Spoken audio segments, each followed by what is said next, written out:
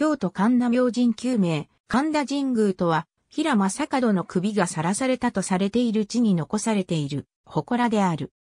天行の乱の後、貞森、秀里に撃たれた正門の死球は、平安京まで送られ東の市、東王子で獄門にかけられた。その首の行方から正門塚を、はじめ数々の伝説が全国各地に残されている。京都神田明神京都神田明神外観京都神田明神内部所在地京都市下京区綾野工事通り西の東院東いる新鎌座町728京都市場通りを南の綾野工事通りへ少し下がった路地に民家の軒下に埋め込まれるように祀られている。所在する新鎌座町の地は平安時代当時は左京五条三坊一歩一丁の街中であったが、後には大乗大臣、藤原頼忠の市場の宮となった。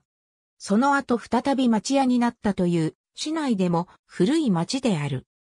2010年2月に行われた改修工事以前は民家の木下の壁が路地にせり出しており、上部には格子の中に古い図紙が収められ、下部には壁の中に石が塗り込まれていた。その後、祠は民家の中に移設され、下部にあった石と共に祀られるようになった。筑土神社が祀られた頃、当時、一聖と崇められていた高僧の空也上人は芸の戸において、正門の首がさらされた地に銅を立て手厚く供養したという。いつしか空也供養の道場と呼ばれるようになり、後に、これが空也供養がなまって、公約、細い路地に位置することから、公約の図紙として地名になったと伝わっている。明治2年に南北に分かれていた公約寿司を合併し、現在の町名に変えられるまではこの名で呼ばれていた。江戸時代の致死類にはいくつかに掲げられている。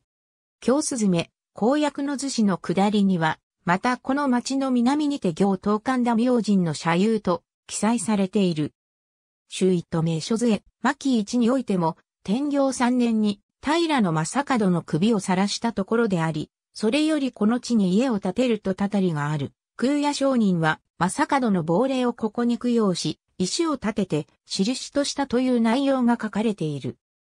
明治に入ってからの京都日出新聞では、正門の首塚を発見したという記事が載ったが、大正初年の京都防目史には、正門との縁を否定する文が残されている。ここが東京の神田明神の本家であるという説もあるが、裏付ける資料は見つかっていない。四条ガラス丸を西方面へ進み、四条通り南側新町と西野東院の間の路地を入った先に所在する。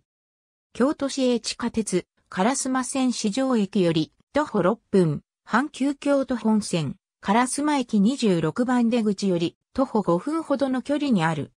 市バス、市場西の東位により、徒歩1分。路地を入り、史跡正門塚保存会の上りが建てられているのが目印。ありがとうございます。